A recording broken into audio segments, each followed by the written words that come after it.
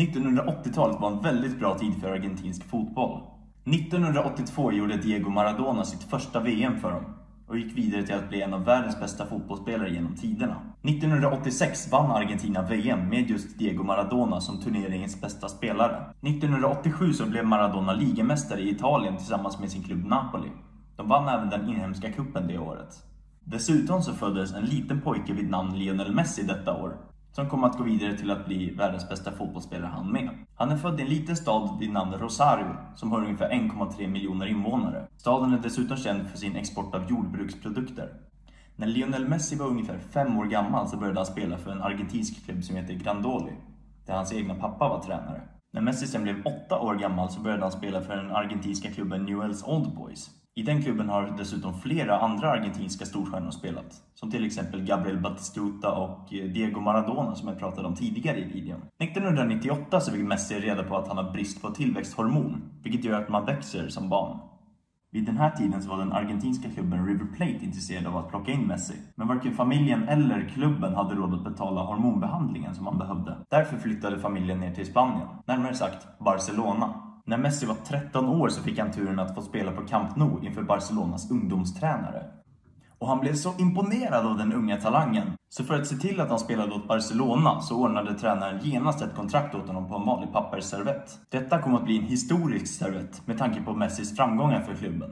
Barcelona erbjöd sig dessutom att betala för hormonbehandlingarna som han behövde som inte familjen hade råd med. Detta kunde de göra eftersom att de är en mycket större klubb än klubbarna hemma i Argentina. Messi började genast spela med Barcelonas U14-lag och imponerade redan från första början.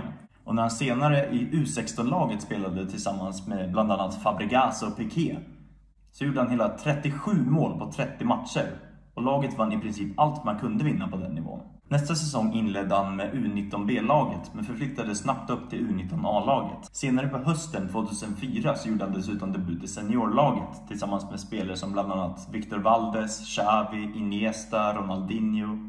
Och den 1 maj 2005 gjorde han sitt första ligamål för A-laget. Efter en fräck lobbpass från Ronaldinho kunde Messi springa sig fri från sin back och var ensam mot målvakten. Målvakten, som står långt utanför målet, skrämmer inte Messi. Utan han lägger den över målvakten och ser den dyka rakt ner i mål. Ren magi. Detta mål gjorde då Messi till den yngsta målgöraren i hela La Ligas historia. På grund av skador i Barcelonas ordinarie anfall fick Messi fler chanser som han förvaltade väl.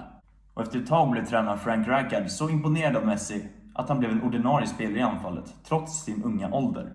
Messi spelade främst på högerkanten i en 4-3-3 under denna tid. När Messi bara var 20 år så hade han redan spelat 100 matcher för Barcelona och ansågs vara en av världens bästa fotbollsspelare redan då.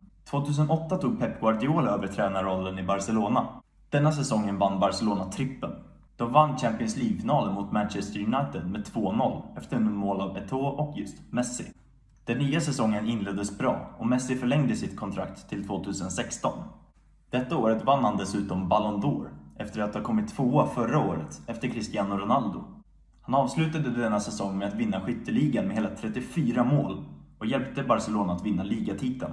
Nästa säsong gjorde Barcelona en upprepning av 2008-2009 säsongen genom att slå ut Manchester United i Champions League-finalen.